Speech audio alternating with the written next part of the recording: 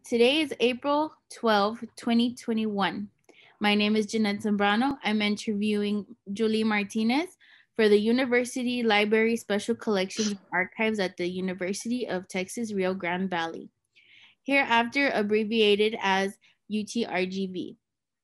This project is in partnership with the Voces History Center at the University of Texas in Austin.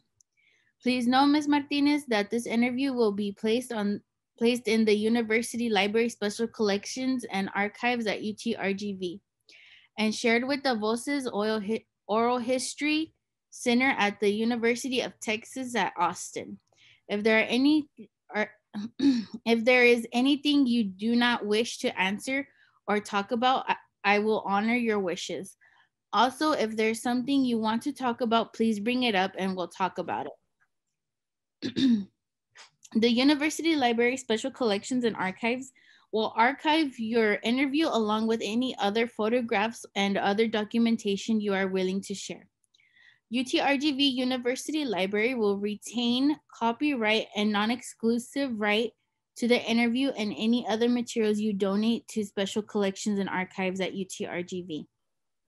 Because we are not conducting this interview in person, we need to record you consenting to make sure you agree with our interview procedures before we continue. So I'll ask you a series of six questions. Please say yes, I agree or no, I do not agree for after each question. Do you give University Library Special Collections and Archives at UTRGV consent to archive your interview and your materials at the UTRGV University Library? I agree.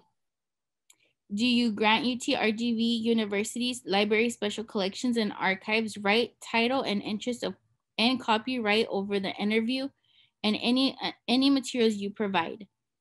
I agree.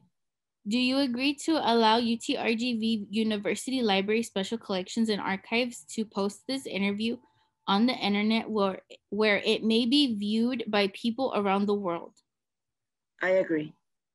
Do you grant the University Library Special Collections and Archives consent to share your Zoom interview with the Voces Oral, Oral History Center at the University in Austin for inclusion in the Voces of a Pandemic Oral History mini project, which will include posting the interview on the internet? I agree. As you recall, we previously filled out the pre-interview form. We used information from the pre-interview form to help in research. The entire form is, is kept in a secure Voces server at the University of Texas at Austin. Before Voces sends it UTRGV University Library Special Collections and Archives, we would have stripped out any con any contact information for your for, for yourself or family members. So that will not be part of your public file. Your public file will only be accessible at UTRGV University Library. The final two questions ask for your consent on what, what I just described. Do you wish to, for us to share the rest of your interview and your public file available to researchers at UTRGV University Library, Special Collections and Archives? I agree. On occasion, UTRGV Special Collections and Archives and Voces receive requests from journalists who wish to con contact our interview subjects. We only deal with legitimate news outlets. Do you give consent for us to share your phone number or your email with the journalist? I agree. Thank you for your consent. We, your experience and stories mean a lot to us at UTRGV Special Collections and Archives. I look forward to what you have to say in the interview. Um, interview questions I will now ask. Ms. Martinez, thank you for your time.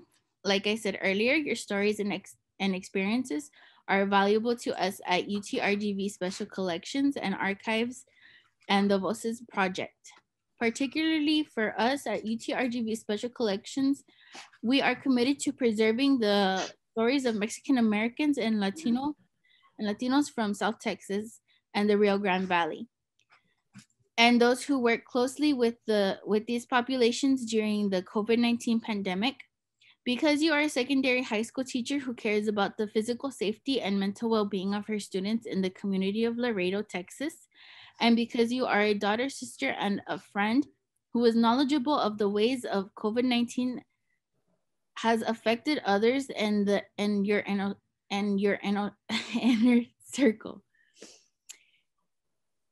I know you have many meaningful stories and experiences to share on how COVID 19 has impacted these roles it, you carry out in your life. So, for the first question I wanted to ask you is When did you first hear about COVID 19? And how did you learn about it? I first became aware of COVID 19 back in March of 2019. It was actually the last day before we went on spring break. There were rumors within the staff members and, and around the campus that there was a case in one of the districts of Laredo that had tested positive for COVID. Later on that day, before we went home, uh, we got an administration email or messages from uh, from our department heads that we should be ready in case we don't come back, have appropriate materials to be able to help the kids from home. At that time, we didn't know we would be going remote learning, virtual learning, or package. We just didn't know. We just needed to be ready and prepared for whatever was coming up. And what was your first reaction to the information about COVID 19? At first, my reaction was kind of neutral, but this, as the days went by, I became became scary the thought of contacting it and maybe not being able to make it through made me very nervous and worried. At what point did you realize this pandemic was a serious life altering event? I never did think it was a joke. I thought it was serious. The thing that made it less seem like it was less serious to me was that uh, I knew the pandemic was deadly and scary, with all the deaths that had happened in other countries and it spreading to the US, that's when I had no doubt it was not a joke. Once it hits the heart, which is home in our country, we can pray for other countries and we can be, uh, we can wish everybody to resolve their problems in other countries. But when it hits home, it becomes, it becomes a threat to us.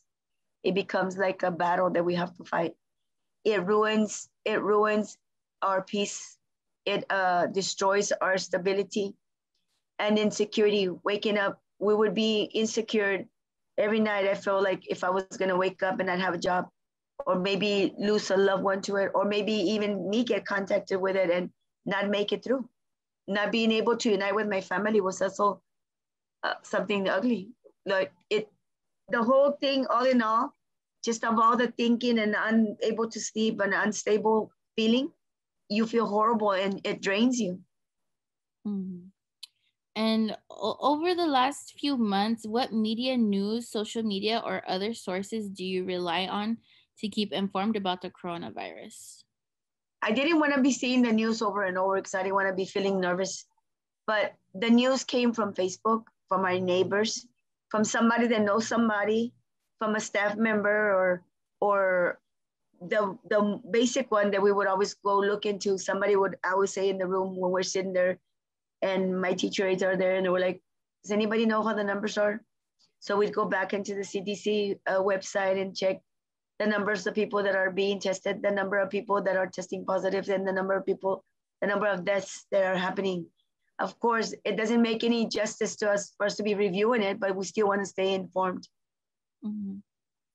And can you share with me what you understand about COVID 19 as an infectious disease and and any of its uh, variants? Um, or likewise, you can share with me what you don't understand about this new coronavirus. Well, I've only know what I've heard. And I've heard that I know that it's it's a very ugly virus, that it is, does exist, is, is, is very strong. It's affecting and killing people regardless of color or origin it has no boundaries. I believe that when, when somebody acquires it, it's, it's not recognized by our immune system. And that's what makes it more deadly. It multiplies if you have a pre-existing condition. Although in some people I've heard that they don't have to have pre-existing and they don't have to be elderly to die from it. So it could be it could, I feel more like it has a party in us, in the person that gets it if you have pre-existing condition. But it will hurt everybody or anybody who gets it. It will be harder for other people to fight it and it will be easier for some people to come out of it. And I know some people that haven't been able to come out of it. I believe that in the future it will become a seasonal vaccine, just like the flu vaccine is, and just like the measles vaccine is just something that's going to be part of our lives. Mm-hmm. And can you tell me what you know about the various vaccines that are available now to the public? And how I followed. I'm sorry. Go ahead. I'm sorry. Okay, no. Um, can you tell me what you know about the various vaccines that are now available to the public and how do you feel about these vaccines? I know there's three vaccines that have been approved by the FDA, which is one of them is Moderna, one of them is Pfizer, and the other one is Johnson and Johnson. I know that they're not 100% effective, but it's a start. I know that two of them consist of two doses before they can be effective, the 95% and the 97%.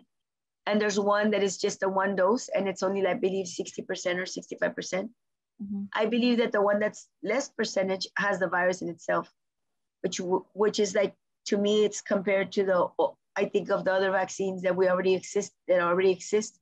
And what it does, it, since they do inject the virus in you, your body starts to recognize what it needs to fight it. The other one is was made more scientifically made where they get the strands of the virus and make your body introduce it to your body where it will come and recognize the virus and fight it. It's very complicated, uh, but that's about all I know about the vaccine. And um, do you have a vaccination story um, you would like to share with me now or perhaps later on during the interview? Well, I've heard of several several things that have happened. Uh, some people some people say that uh, you get the vaccine and and you'll be okay, but this doctor that I follow on on uh, on Facebook says that the vaccine we can still get it even after you you get the shot.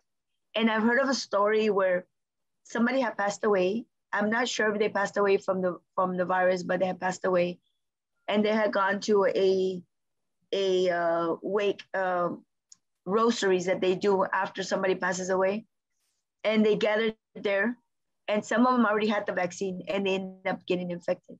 And one of the persons that did get infected has had been battling um, cancer and going through chemotherapy, and he got very sick. He got very sick, and it gets scarier the mom and the brother of the guy that had, that passed away actually ended up in the intubated in the hospital. Both of them did, and the the other brother was needing to get disconnected, and they didn't want to tell the mom because she's still battling. I don't know if they made it or not. I haven't checked back with them, uh, but it's very sad story. I, I something that I wouldn't like for my loved ones to go through. Yes, that is very unfortunate to hear that um you know that some people are, you know, um even though they still have vaccinations, you know, they're still being able to get infected. Um so do your family members hold the same beliefs as you as about COVID-19 or are there some who take it more seriously or lightly? I think everybody has different beliefs.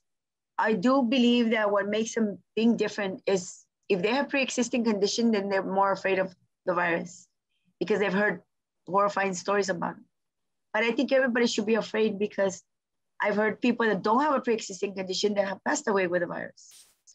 And I do have sisters that that are not too scared of it and they can actually go to a restaurant and eat. And and of course they wear the appropriate cover, they cover their face and everything in shields and whatever needs to be done, keep clean, spray themselves off and stuff. And then I have the sister that won't even come out of her house and is not allowed to even talk to anybody because their daughters feel like, oh no, we have to take care of you. So she has been quarantined the whole time and and she even has the shots and she thought, I can't wait to get my shots. And then when I get my shots, I'm gonna be able to go visit. But now that she's got the shots, now they feel like the daughter saying, well, you're still a carrier now. Now you can infect the kids. So we're back to square one with them.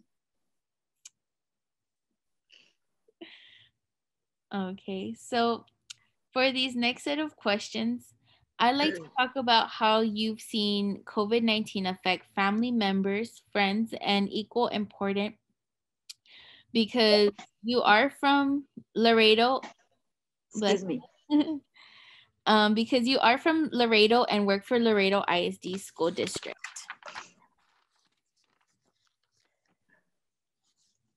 Um, Ms. Martinez, I want to ask you. Excuse me. Chance, bless you.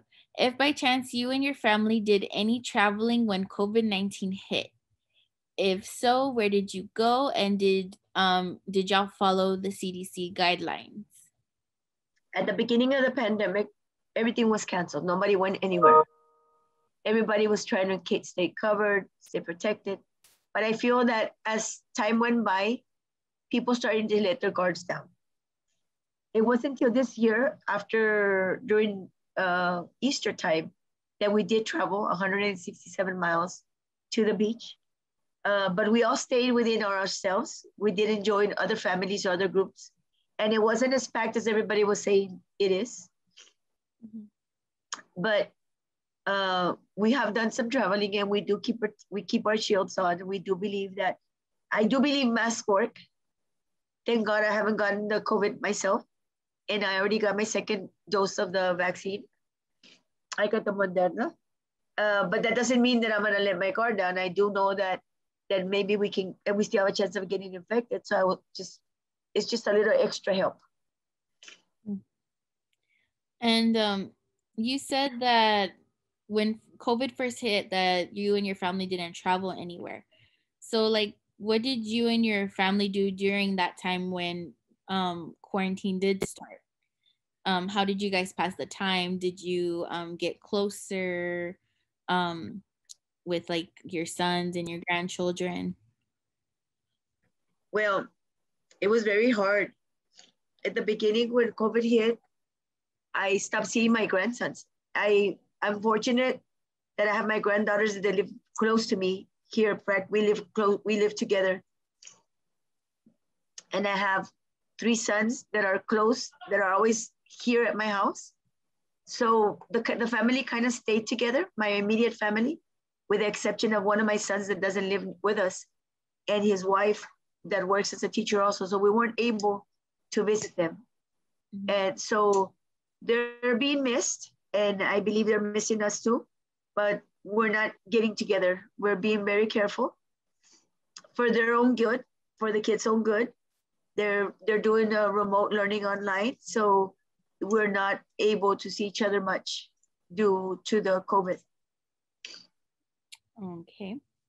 And how did the pandemic impact your family traditions, um, your customs, holiday celebrations? Um, like birthdays, um, Thanksgiving, Christmas? Well, because like I was saying, due to the fact that my, my immediate family lives here with me, we kind of didn't have to exclude anybody except for one of my sons and my grandsons. Uh, it did affect us because, of course, we weren't able to be out and about.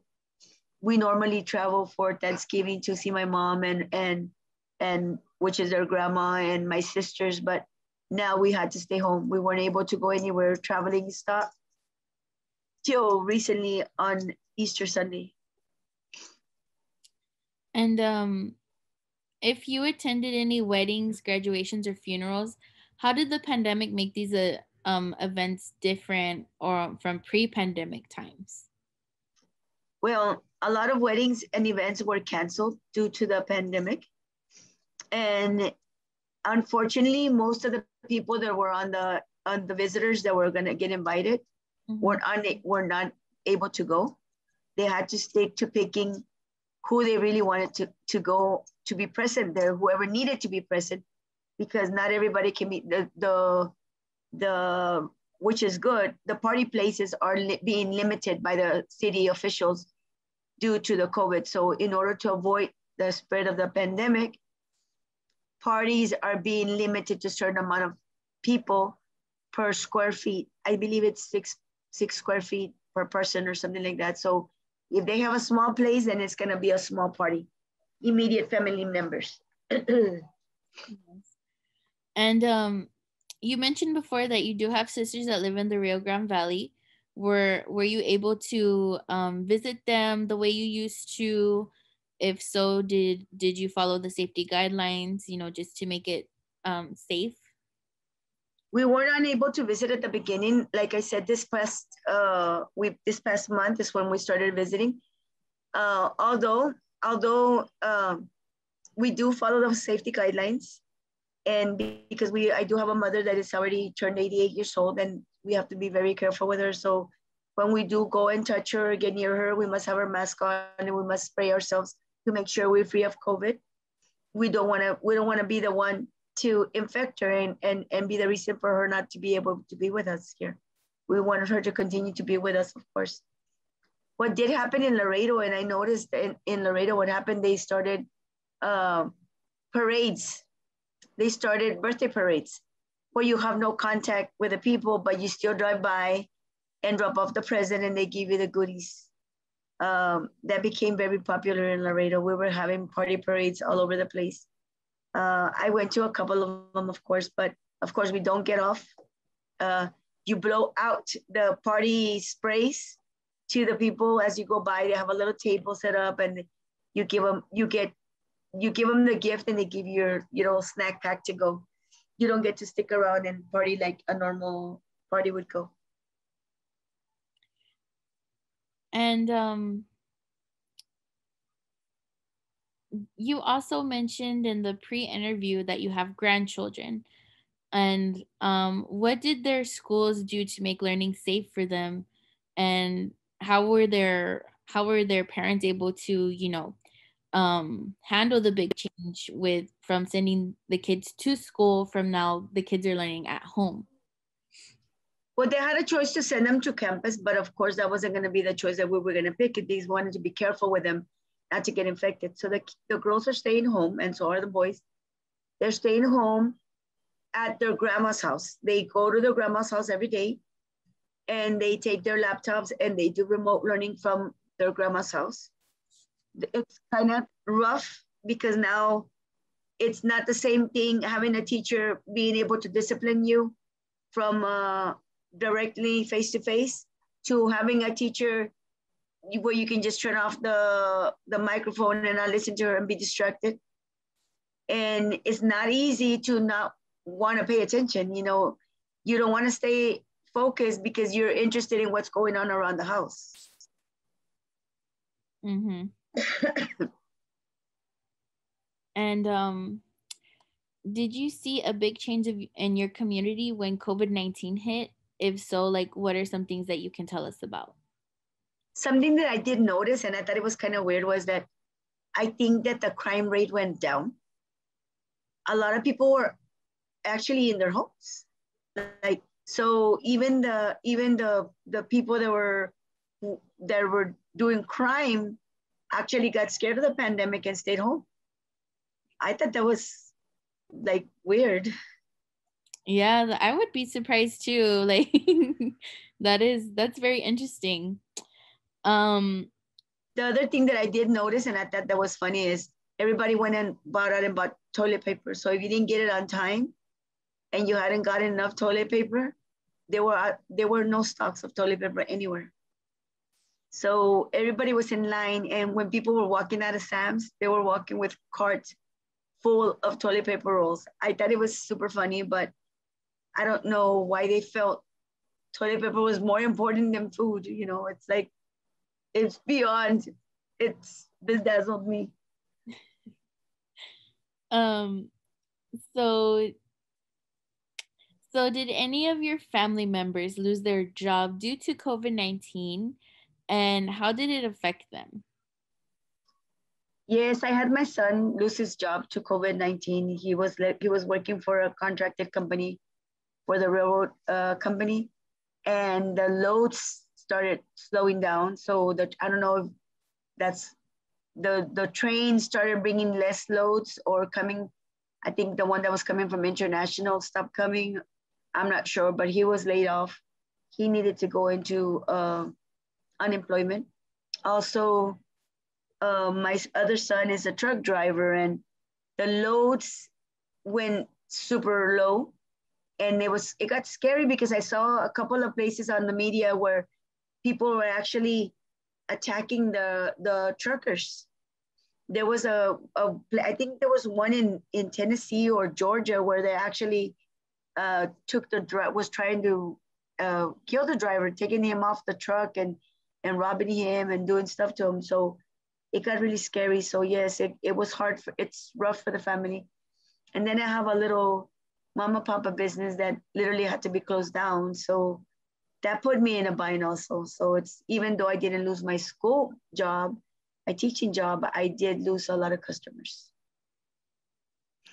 And how do you think the border city life in Laredo is responding to the pandemic?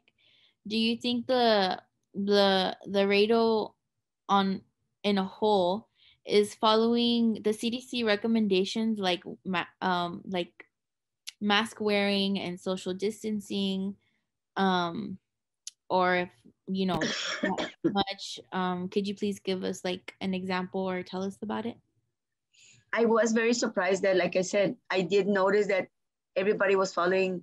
They, there was curfews implemented. Kids were following curfews. Adults were following curfews. Um, they were following. There, there was a couple of places where they would still get the gatherings together and they would gather with family members and stuff. But other than that, I do believe that Laredo was very responsible. The people of Laredo were very responsible in following curfews and following guidelines we to this day the governor had i believe give permission to to not wear a mask we still have the signs in the stores. If you do not wear a mask you're not allowed to go inside. And i and i'm glad that they're doing that because they're still i mean covid is not over. Even if the government opens it's really not over. So i don't think that he's got the right to decide for you and say okay you know what? Just go ahead. Let everybody in get infected and get sick and let's get over with get, get, get over with it because every person's life should matter, not just the, the people in politics. Everybody's life should matter. Mm-hmm. So, um, and the next set of questions, it's going to focus on your stories and experiences as an educator in the time of COVID 19. So, just so we can get a bit of a backstory, how long have you been working for Laredo ISD? This is my fifth year working for LISD. And how did you end up working in Laredo ISD? I kept applying and applying because they wouldn't hire me. I actually had to leave Laredo and work four years in another city before I got hired in Laredo to work for Laredo ISD. And I was insisting in working for Laredo ISD because I am, I wasn't born or raised in Laredo, but I got married in Laredo and I love Laredo. I just, if I leave Laredo, I miss Laredo life. I'm so culturally involved with Laredo that I cannot live out of Laredo. So when I did keep applying and I finally got my job here, I was very happy and fortunate to be hired by LISD. And what grade level do you teach? And what are some things that you would like to teach your students? I am teaching the 9th through 12th grade I have a recently, as of March, February 24th of last year, right before COVID uh, shut down, I had changed from an English resource teacher to a unit FLS teacher. And uh, we did, we actually did teach our kids to properly distinguish uh, how to stay clean from COVID like do the bacteria, kill bacteria, how to spray, because they already knew how to wash their hands, but we needed to teach them how to not cross contaminate. So we did give them a couple of lessons in that. We did do units of prevention and, and, and help them uh, understand why you have to wear a mask. And, and we implemented it, you know, and we still do. They know that if they're to come to be on campus. Right now, we're still remote, but they do know and are expected that the day they return to campus, they will be coming in with a mask and will be leaving it on all day. And how did Laredo ISD handle the COVID outbreak? Did they shut down right away? Um, what safety guidelines did they put in place for their staff members and students? Well, they didn't shut down right away because we had gotten out for the spring break. But the, the week after spring break, they went ahead and announced that we would not be going back. They were going to be disinfecting the campus and we would go remote learning. At that time, when we started remote learning, it was going to be almost the end of the year. And not everybody had laptops. Not everybody had been assigned a laptop. So it was a struggle. So what do we do? We had, they had already told us to be prepared for lesson plans and, and be ready for the curriculum to implement the curriculum the way we had to do it throughout the year, only through packets. So what we did, we went ahead and we went ahead and got to, we got in groups and we went ahead and did packets for the students to make sure they kept learning at home. We stayed in contact with the parents every day. Throughout the day, we were available for the students from the regular time, eight to four. Had parent, if parents had questions, if students had questions, if administrators, anybody would have questions, we were available for them all day. And this happened from March to the end of the year. We went back in August, teachers went to campus to meet, and then COVID was still under not in control the way it's supposed to be. And so they also sent, they went ahead and sent us home again, and we were home for a, maybe like a month and a half before we were asked to return to campus. And we were now, we are now teaching virtually from campus. I believe as of today, all staff must be uh, must must have reported to campus unless they had a special permission. And everybody should be virtually remote teaching at this time. And um, can you share with me how your school district, your school and your district um, helped prepare for the transitioning from going in person to remote um, teaching? And how many services or workshops did you attend? Um, or, you know, what kind of trainings did you They give us a lot of technology. They did give us software training. They did give us uh, virtual training. They did show us, for those of us that were not aware of how to use or not computer savvy, we always had somebody helping us. And there is still somebody. If we have a technology team on campus that has always been there, but now they're there to help us remotely. In they have they have the software where if I have a question, I can call I can call technology and I give them, they send me a code and I, I can give them remote access and he can see my computer and use the pointer from wherever he's at to show me on the computer how to fix the problem that I have. Uh, it's a very good team. We have no problem. They, they were excellent at getting students prepared back with, when we came back in August, they had computers ready and appointments for every student to come and pick up their laptop and be ready to learn online. Because if anything COVID was doing was stopping life, but education was still going. And we're still going full force. Right now, we did STAR, we're doing STAR. Uh, students, some students showed up to campus to test. Some opted not to show up and some did. So we're still going through with it. Testing has not stopped because of COVID. Education has not stopped because of COVID we have every teacher knows their student and their data. So therefore we can, since we know the students very well and we know we have data to see where they have need, we try to fulfill their need. And if all else fails, we have contact with parent or student on telephone line and we can see them and we can, we can also go virtual and have a room just for them to question and answer or we do our daily, daily lessons online also. And um, are you concerned about the effectiveness of remote learning uh, or online learning for your like when you're educating your students? I'm not concerned. At the beginning, I was concerned, and I felt kind of like embarrassed to to, and that's how the students feel too. If I feel embarrassed to come out on on on the screen and see myself and all these defects that I might have, I'm pretty sure the kids were going through the same thing. So we allowed them not to turn on their their their camera.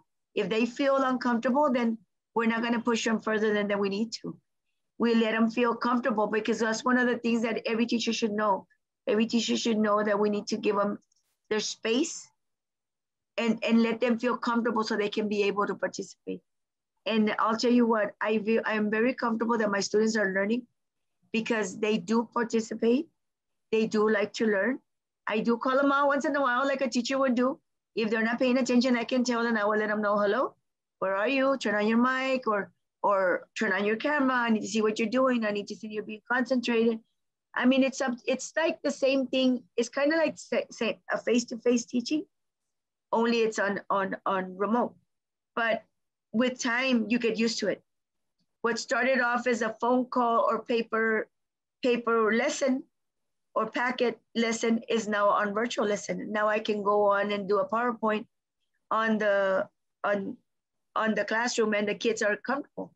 Now I can send them their work through Kami and they're comfortable doing the work through Kami. I can see if they go in and do the work and I can see if they're being effective or not. Mm-hmm. And um, can you share with me one of your favorite lessons that you've done um, as a remote teacher that your students enjoyed? They on a on a weekly basis we do a news to you story and we this is an online real story. What happened is it's a story about a true story about something that is about to happen. For example, I'm gonna give you, I think we did Jamboozy in New Orleans. And since New Orleans was affected by the by COVID, they were not able to have Mardi Gras and all this. So they did a they did a a setup where instead of having a a parade, they did house decoration parade. So now you could drive by and they chose a theme. I don't remember what the theme was at the time, but they chose a theme and everybody, they were given money to fix their houses and decorate them to that certain theme. So New Orleans still had something going on. It wasn't a parade because people cannot be uh, together there, they cannot be socializing, but it helped that they prepared themselves to still make it meaningful. Mm-hmm. And those stories are what I like to share my, with my students because it's what's going on. It's the real reality, what's going on. And um, just like you shared one of the moments that you enjoyed teaching your students, um, can you share with me one more one one of the difficult times you had with remote classroom learning? Well, one of the difficult things that can happen is we'll have some students that are sad or having trouble at home in in at home and these kids rely on education or going to campus to feel secure by having their warm meals by having a, a, a, a safe environment. And due to COVID, they're having to stay home, maybe alone. Maybe we're going back to old times when kids are left alone because the mom and the dad have to go to work. And so these kids are harder to teach because they are needing they're they're they're needing their their what is this thing that they're needing nurturing. And as a teacher, you can provide nurturing in the classroom. By I can tell when somebody's hungry and I can give them an extra snack. If somebody didn't make it on time because they got up late and didn't get to go breakfast, we, we have something in the room. We can go get breakfast for them and give it to them. Now that we're going through these hard times and they're home, but they're home alone and they might not have that food in that refrigerator that that the parent is unable to bring because a lot of parents, their hours were cut down. Stores were being shut down. So there was a lot of parents left without a job. Parents that did not have days that got COVID that didn't show up to work, lost their jobs. So that's what's hard about teaching kids that are in need and in a lot of need, have a lot of need. And we're unable to provide that extra, that extra or do that extra effort to help them out. Mm-hmm. And because of COVID, have you been able to, I mean, have you had to take any extra work duties because of COVID 19? I believe our duties are the same. They just feel more tiring. We do have meetings that are our state mandated meetings that we do for our students to make their own IEPs. It's harder to do them because the student is not there. The parent cannot come to the meeting. Um, sometimes they'll say they will show up on the on the on the virtu- virtual meeting, and they can't show up because they don't have internet. There's these things are very difficult to perform a, a, a real a meeting because we're missing they they don't know and we cannot give them that feedback like i cannot go home and teach them at home how to use their their internet how to go into the meeting these parents are not used to a lot of my parents do not know um, they're not technology savvy and it's very hard for them to come to the meeting mm-hmm. and um what kind of policies has Laredo ISD School Board or the principals enacted um, to get ahead of the disease?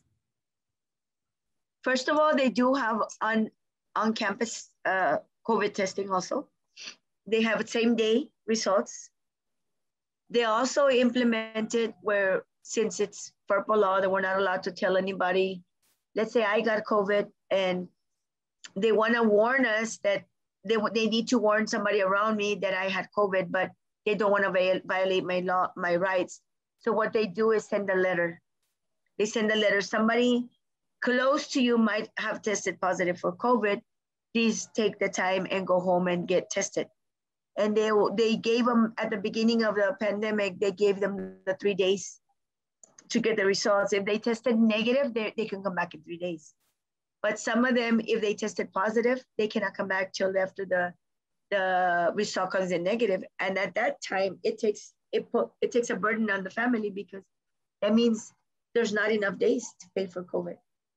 But they did give us some days. And um, does Laredo ISD plan to resume in-class instruction um, later this semester? Actually, next the all teachers are on campus as of today. And on Monday of next week, I believe it's the 19th, all students have a right to go back to campus. And how do you feel? Left to a parent's choice. How do you how would how do you feel about that? Well, I'm very saddened by the fact that they might go back because these kids, like I've mentioned before, I've moved into an FLS unit.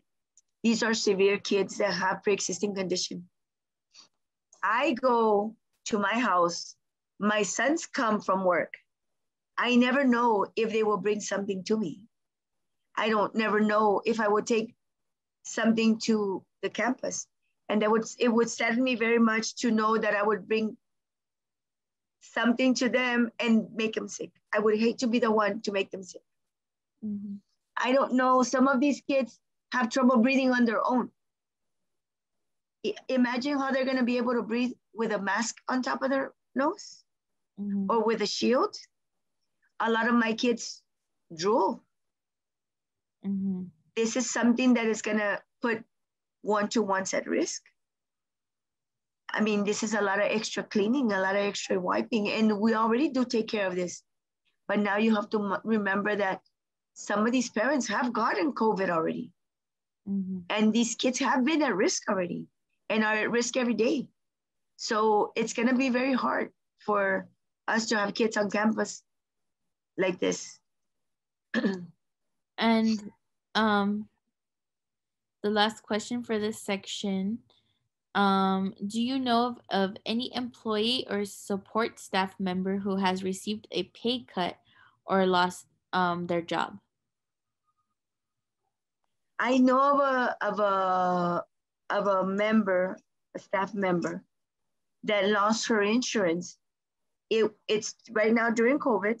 I'm I don't think it's because of COVID. I think it's because of another pre-existing condition. But nevertheless, she was taken off her insurance and now she's left without insurance to pay for whatever she needs for medical expenses. And um, now to close, I will ask you some final questions. Um, are you satisfied with the local response to COVID-19 in Laredo? I can say I'm a I'm neutral about it. There's some things that don't I don't like, and there's some things that I don't mind.